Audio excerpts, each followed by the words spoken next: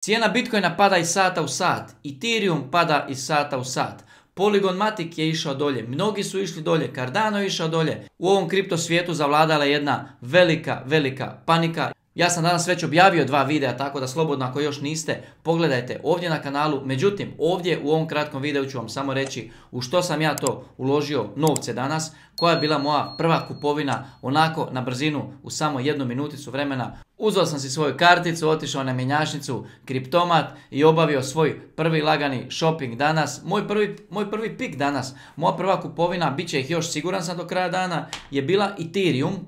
Tako da krenuo sam sa Ethereumom, sad ću se baciti na Bitcoin, kupit ću još nešto sitno Bitcoina i vidjet ću da li ću uzimati, vjerojatno hoću, nešto još sitno Meta Hero projekta, zato jer je cijena mu išla dosta dolje od onog mog zadnjeg ulaza, tako da eto čisto da izbalansiram situaciju kad se malo oporavi da brže izvučem ono što sam stavio, a možda i ode vjerojatno će ići i gore kad se sve stabilizira, tako da ću sigurno uzeti još, još Meta Hero, a za ostalo ćemo vidjeti, bacio sam oko i na Polygon Matic, neću ići sad puno u šitare, neću ići u širinu, tako da zadržat ću se sada ovdje oko ovoga nešto sitno i naravno stavit ću još nešto sitno u Validus, ali nećemo sad u tu temu jer vi ste već donijeli vaše mišljenje da je to jedna velika, velika prevara, a danas dok cijelo tržište pada dolje, dok sve ide dolje, oni su masne novce zaradili na Uniswapu, zato jer oni zarađuju na Uniswapu bez obzira Tržište išlo dolje, tržište išlo gore. Osiguravaju likvidnost i uzimaju lijepi postotak. I drago mi da sam dio toga.